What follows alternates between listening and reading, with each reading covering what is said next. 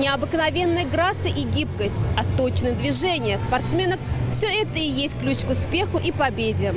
А сегодня мы станем свидетелями того, как наши гимнастки готовятся к первым европейским играм. На национальной гимнастической арене проходят тренировки наших гимнасток, а также серьезная подготовка к первым европейским играм, до начала которых остаются считанные дни.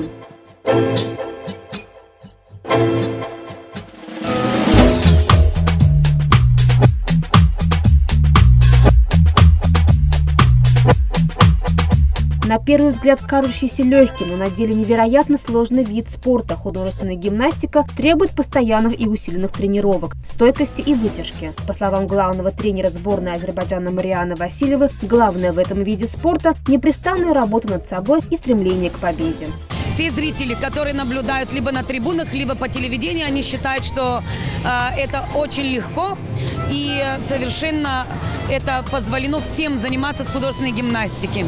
К сожалению, это не так. Любая э, девочка, которая хочет стать э, знаменитым спортсменом или хотя заниматься на высокий уровень с художественной гимнастикой, должна в первую очередь э, иметь определенные физические данные.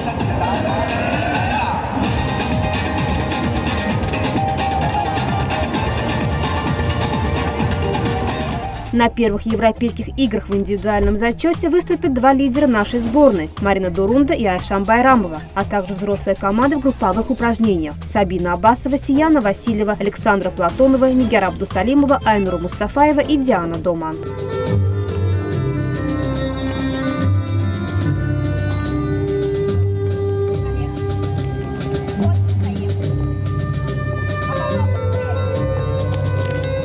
В интервью Азертач ведущая гимнастка национальной сборной Марина Дурунда поделилась своими впечатлениями о чемпионате Европы, прошедшего в Минске, на котором наша Грация заняла почетное третье место. Сам чемпионат проходил довольно-таки успешно.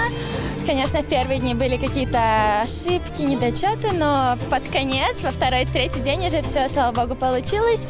И эта медаль, конечно, была очень такая неожиданная, потому что в конце, в самый последний финал был, самая последняя возможность завоевать медаль на этом чемпионате Европы.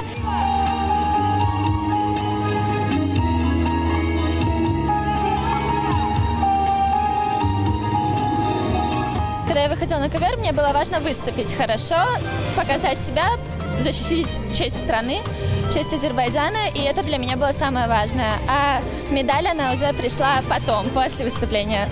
Художественная гимнастика – грациозный и в то же время сложный вид спорта, требующий ловкости и выносливости.